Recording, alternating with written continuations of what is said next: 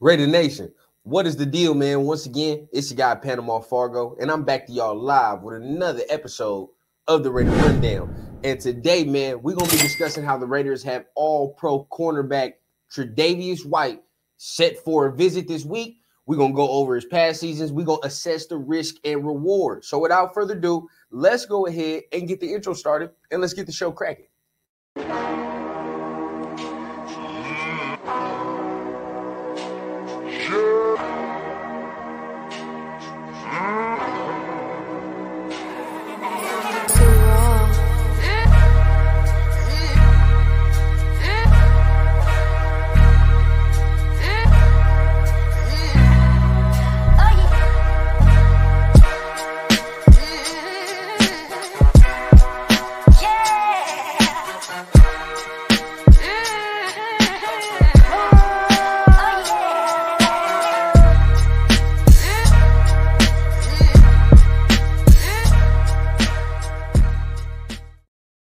Is the deal? Once again, you are back for another episode of the Raider Rundown. Y'all know what time it is, man. Make sure you guys are tapping on the like and on the subscribe button. And please hit on that little notification. You get updated whenever I drop episodes and give you updates like this right here.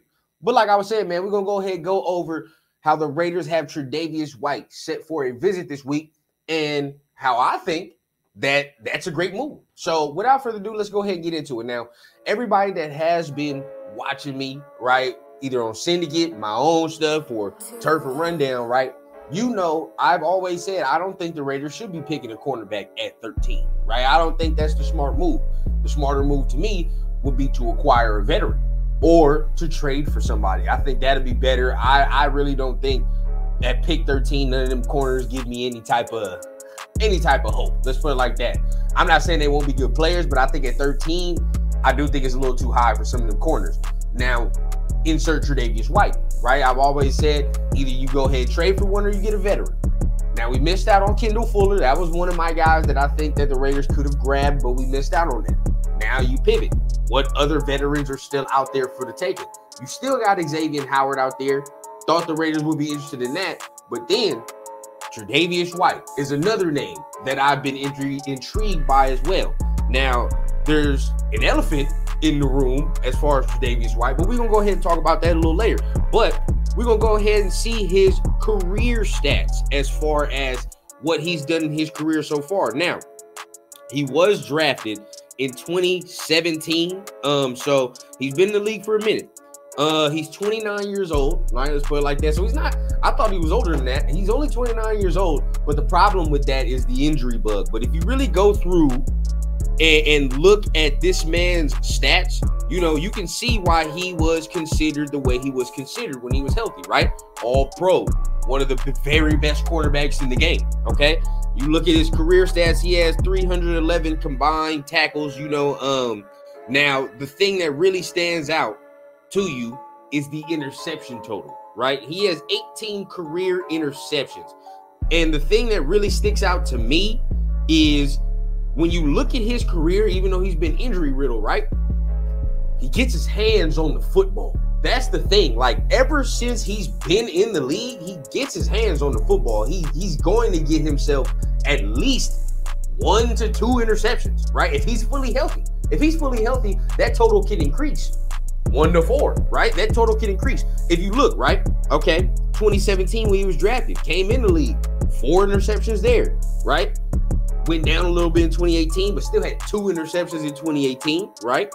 Then you look in 2019, six interceptions, right? Now we're going back, but now here here's where we start getting all the injury riddled seasons, right? Now you talk about um 2020 he has three interceptions there. 2021, only one interception. 2022, one interception. But these are the seasons he starts to become injury prone, right? So when you look at it, right, should the Raiders sign Tre'Davious White? If you think about it, I think it's a real low risk, high reward, right? Because I don't think that this man is going to require a huge contract, right? I don't think it's going to require a, a huge law, lump sum of money, right? That that's my whole thing. So would you be able to get him on the veteran cheap, right? And if you can get him on the veteran cheap, like I said, he's only 29 years old. the man can stay healthy and he's healthy for a full 17, oh, it's ugly. It's ugly because you just grabbed yourself an all-pro cornerback. Now, the thing that you that you talk about here, okay? Now, he's coming off a torn ACL the year prior to this year, right? So I say in 22, he's coming off an ACL. Boom. In 23, this past year, he's coming off an Achilles injury.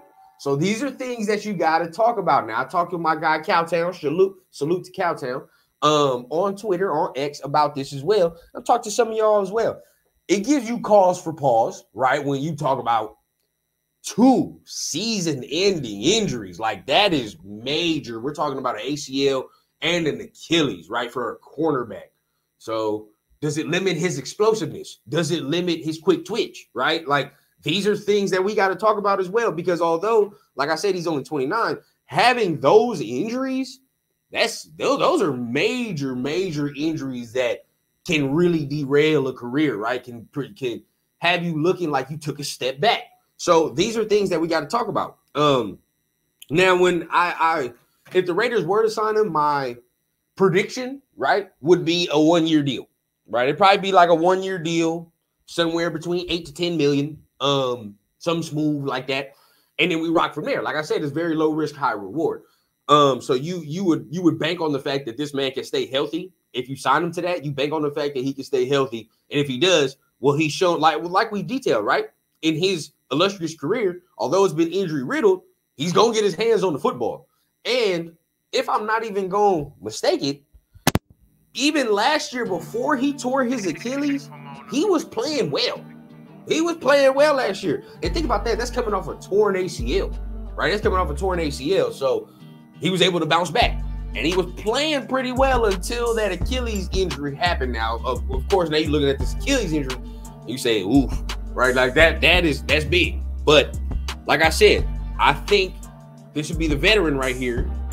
Everything works out and, and the gamble pays off.